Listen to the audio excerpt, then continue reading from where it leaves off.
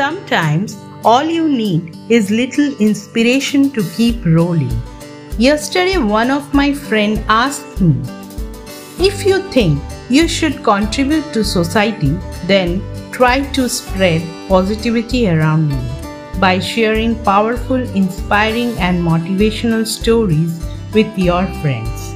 Therefore, I am going to share with you some inspiring real life stories that will touch your heart because every story gives us some moral lessons of life.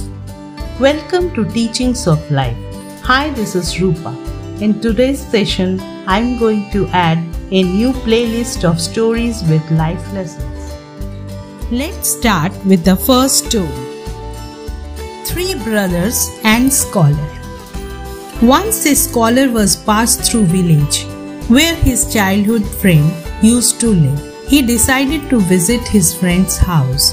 When he arrived at his friend's house, he saw that his friend was living in poverty along with his two brothers.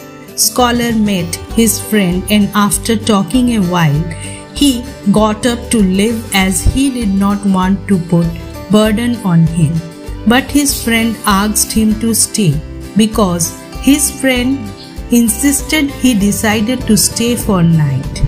In evening, while talking to his friend, Scholar noticed that his brother went to backyard of their house and started smashing out legumes from the legume tree present there.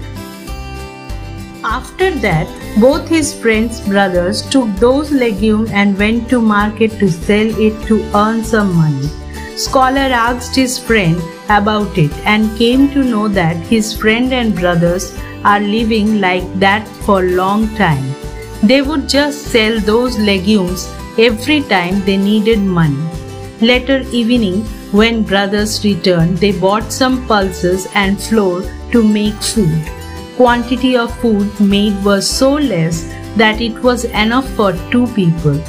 Seeing that one brother made excuse that he is fasting, so he won't be eating any food.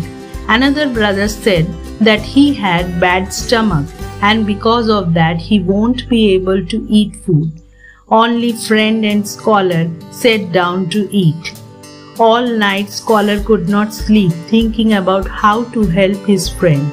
Just then an idea came in his mind.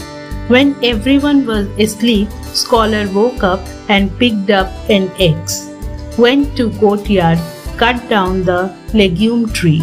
After cutting that tree, Scholar ran away overnight. In morning, when friend and his brothers woke up and went to backyard, they were shocked to see this. When friend looked for Scholar and could not find him, he understood that it was his doing. Soon crowd gathered and everyone started condemning scholar for cutting that tree and destroying only support for livelihood of three brothers.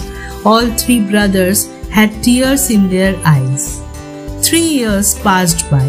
By chance, Scholar had to pass through that same village. Scholar thought to meeting his friend but was afraid to step into the village. He still gathered his courage. Even ready to be beaten, he slowly reached in front of his friend's house. But to his surprise this time it was not a hut but a big house at place of his friend's hut. When Scholar knocked at door, seeing Scholar's friend and his brothers fell at his feet crying. His friend welcomed him inside and said, That day you cut down that legume tree, our only income source, and left. We were very angry with you. But now we understand why you had cut that legume that night. As long as we live with the support, we could not have progressed. If you had not cut that legume tree that day, we would not have thought of working again and lived in poverty like that forever. Whenever we lost that source and looked for ways to earn our livelihood, we worked hard and became prosperous. The lesson we get from this story is whenever there is support, we adopt to being impoverishment in laziness. We don't do anything until we have absolute no need, until darkness surrounds us. Such trees are planted in every sphere of our life. And if we are stuck, then we need to cut such trees in one stroke because that's only way to progress. We have to come out of our comfort zone to live a successful life. Human progress is neither automatic nor inevitable. Every step towards the goal requires sacrifice, suffering, and struggle. The tireless exertion and passionate concern of dedicated individuals by Martin Luther King.